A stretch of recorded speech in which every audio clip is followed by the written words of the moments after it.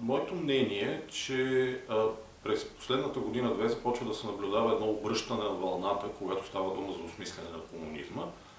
А, не споделям а, напълно а, така отчаяните, а, отчаяното възприятие, че никога няма да има същинско осмислене на комунизма в България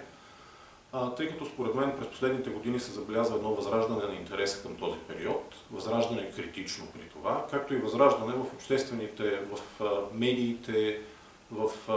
ако искате дори в консуматорската култура, в популярните медии, филмите. Страшно много документални филми се направиха през последните години, но също и голяма част от новите български игрални филми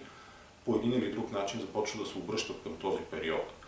Разбира се, мечтата за утвърждаването на някакъв канон по отношение на комунизма, поне според мен е трудно осъществима, до толкова доколкото този период винаги ще привлича спорове, дебати, ще има различни гледни точки към него,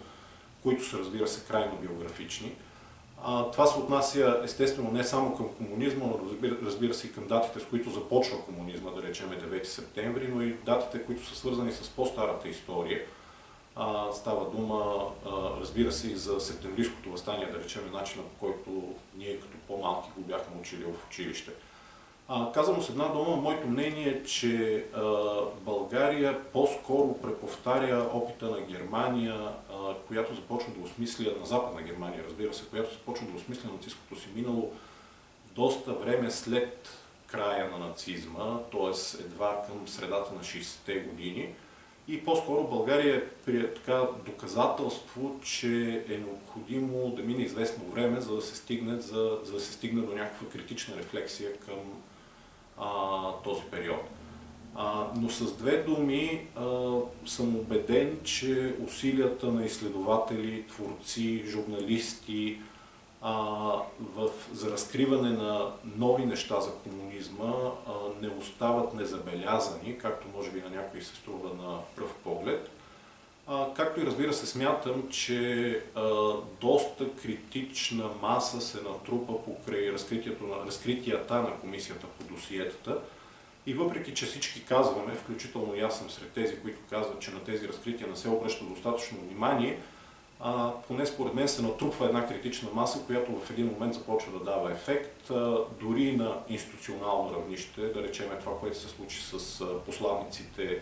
агенти на държавна сигурност, в крайна сметка е първата реална иллюстрация, макар че тя не се нарича по този начин. И разбира се, още по-важното за мен беше решението на Конституционния съд, с което а, не беше съборен закона за досиетата. Това решение на Конституционния съд не само влезе в противоречие с предишно решение на Конституционния съд, но новото решение на Конституционния съд дори се позова на обществения интерес и на обществената подкрепа за този закон. Тоест, изведнъж държавните институции а, започват да припознават обществения интерес като и а, така обществения натиск като фактор в този дебат. А, така че с това, с което мога да завърша е, че гражданското общество а, и усилията на гражданското общество през всичките тези години, поне според мен, вече започват да дават някакъв резултат и в този смисъл не трябва да сме само обезсърчени. Не, че трябва да сме щастливи от това, което сме направили, не, че трябва да сме щастливи от това, което сме пропуснали, а, но така или иначе, а, според мен въпросът подлежи на и на оптимистична гледна точка, и на оптимистично развитие.